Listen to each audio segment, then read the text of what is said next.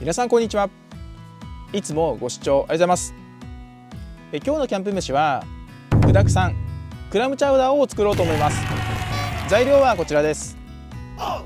にんにくベーコンあさりしいたけ玉ねぎセロリ人参じゃがいもエビコーン牛乳になります。調味料はブラックペッパー粉チーズ塩コンソメバターオリーブオイル生クリーム白だし白ワイン小麦粉になります。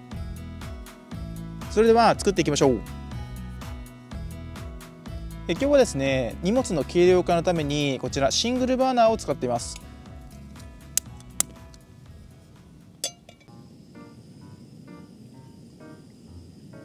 まずは油を敷いてにんにく炒めていきますね。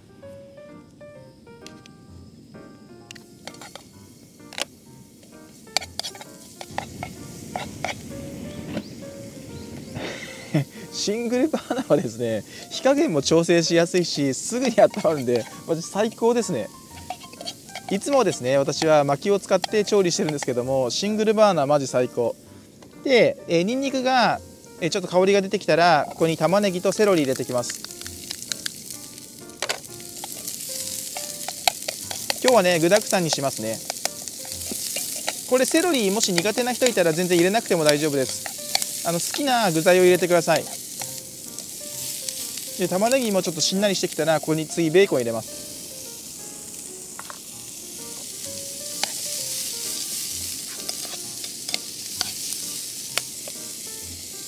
で人参とじゃがいもも入れます。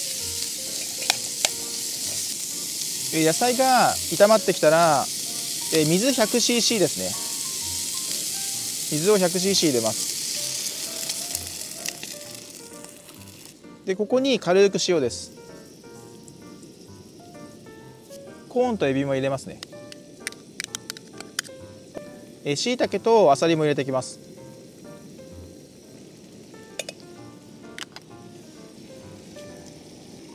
のリフレクターセリアで買ってきたものになります。これめちゃくちゃ便利だね。である程度人参が柔らかくなってきたら一回これ火から外します。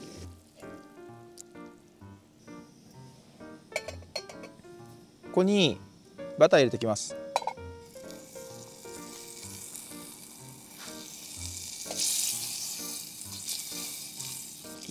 バターが溶けたら一回火を止めて薄力粉を大さじ1です。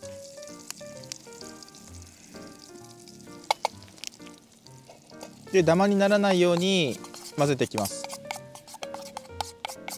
そしたら次は牛乳入れてきます。水 100cc 入れてるんで、まあ、同量の 100cc 欲しかったんですけどもなかったんで 75cc にしました。で牛乳が温まってきたらこちらコンソメですね。とりあえず小さじ1で先ほどのこちら具材入れていきます。あめっちゃ雨降ってきた。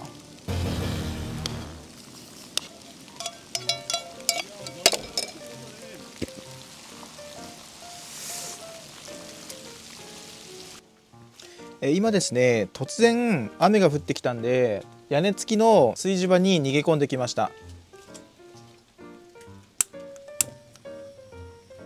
ここに白だしですね。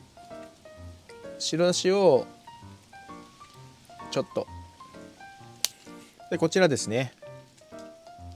で粉チーズになります。粉チーズも、まあ、大さじ1くらいかな、まあ、これもお好みなんですけどね。大さじ1ぐらい。ブラックペッパーですね。あとは生クリームになります。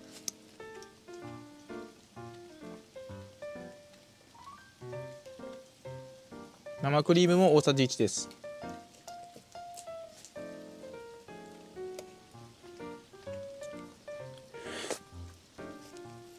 最後に塩を調整で入れてください。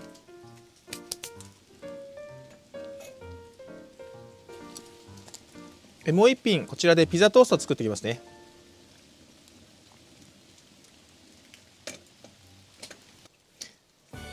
おおうまそう。完成ですね。いただきます。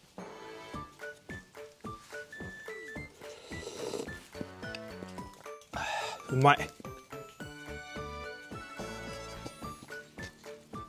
ニンニクも効いてるしいろんな野菜の味がして美味しいですね。あさりも結構多めに入れたんでしっかり出汁も出てます。今日はですね残念なことに軽量化するためにほとんどの荷物は持ってきてないんですよね。ほんと荷物最小限で持ってきたんですよ。で気づいたのがやっぱ焚き火しないんで寒いですね。え今日は12月8日になるんでもうここまで来るとやっぱ 寒いですね。やっぱりキャンプに焚き火は必要だなってやっぱ感じましたね。もう少しでクリスマスですね。クリスマスキャンプにこちらのクラムチャウダーちょうどいいんじゃないでしょうか。